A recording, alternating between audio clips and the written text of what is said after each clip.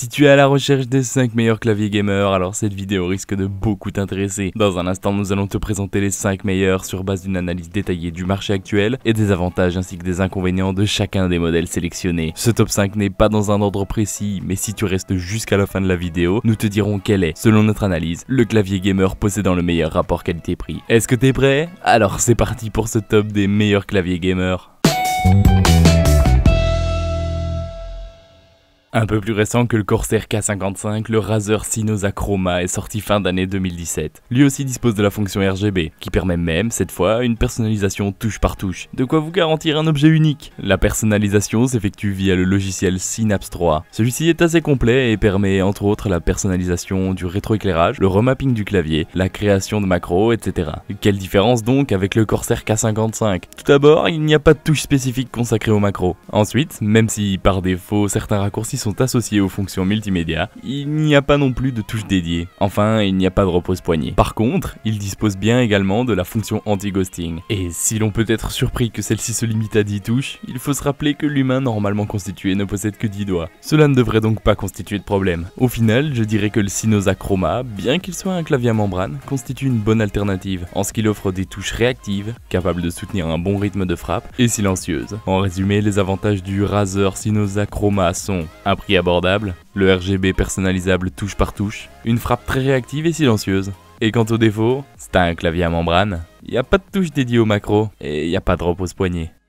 Sorti au printemps 2017, le HyperX Cloud FPS a déjà de sérieux atouts sans être à un prix trop exubérant. La première chose qui saute aux yeux est l'absence de capot supérieur pour entourer les touches. Il s'agit en effet d'un clavier frameless, ce qui permet une vision épurée et des dimensions réduites. Et justement, le deuxième aspect notable de ce clavier est sa compacité. Avec des 44,2 par 13 cm, il se range dans la catégorie des petits claviers. D'ailleurs, il est mis en avant comme étant aisément transportable, puisqu'il est fourni avec une pochette de voyage. Enfin, pour ceux qui voudraient quelque chose d'encore plus petit, sachez qu'il existe une version TKL, soit une version sans pad numérique appelée HyperX Alloy FPS Pro. Cette fois, pas de RGB. La marque a misé sur un rétroéclairage rouge si représentatif du monde du gaming, avec un choix de 4 niveaux d'intensité. Par défaut, le clavier est fourni avec des touches noires aux finitions impeccables, mais HyperX offre également un jeu de touches supplémentaires pour les touches 1, 2, 3, 4 et ZQSD. Ces touches de rechange ont la particularité d'être rouges pour être plus visibles, et les 4 dernières sont même texturées pour offrir une meilleure adhérence. Cependant, il n'y a aucune touche macro dédiée, ni même la possibilité d'associer des macros à certaines touches. Il n'y a pas non plus de touche dédiée au multimédia, ni de repose-poignet. Néanmoins, ce clavier est accompagné d'un anti-ghosting complet, et a l'avantage de ne pas être trop bruyant ce que le bruit des touches n'est pas ici amplifié par le châssis. On le voit, on a donc ici un excellent clavier mécanique réactif, mais il y a le désavantage de ne pas posséder beaucoup de fonctions de personnalisation. En résumé, les avantages du HyperX Alloy FPS sont un prix abordable pour un mecha, un jeu de touches texturé de rechange,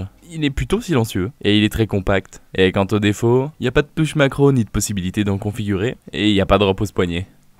Sorti fin d'année 2016, le Corsair K55 dispose d'un éclairage RGB, ce qui signifie que vous pouvez le personnaliser parmi la bagatelle de 16,8 millions de couleurs. La particularité du K55 concernant le rétroéclairage est qu'il est dispersé sur trois zones réparties le long du clavier. Concrètement, vous pouvez donc attribuer une couleur différente à la partie gauche, au centre et à la partie droite du clavier. Les possibilités de rétroéclairage sont réparties en 10 modes allant d'un éclairage statique à une variation de couleurs qui s'effectue en fonction des paramètres que vous enregistrez. À gauche du clavier, vous avez une rangée de 6 touches programmables afin d'attribuer et en toute facilité des macros. En haut à droite, vous retrouvez une série de touches spécifiquement dédiées aux commandes multimédia. Bien qu'il s'agisse d'un clavier à membrane, les touches sont réactives, et beaucoup apprécieront le fait qu'elles sont silencieuses. Enfin, comme tout clavier gaming qui se respecte, le Corsair K55 dispose de la technologie anti-ghosting. Le ghosting est un phénomène qui se produit lorsque le contrôleur du clavier n'est pas capable d'interpréter l'appui sur plusieurs touches en même temps. Vous imaginez bien qu'en gaming ça peut être fatal. Un autre petit plus de ce modèle, son repose-poignet détachable, qui se révèle très pratique pour jouer pendant de longues heures sans se retrouver avec une tendinite. Au vu de son prix et des fonctionnalités qu'il offre, le Corsair K55 est clairement un achat sûr pour ceux qui ne souhaitent pas à tout prix un clavier mécanique. Globalement, les avantages du Corsair K55 sont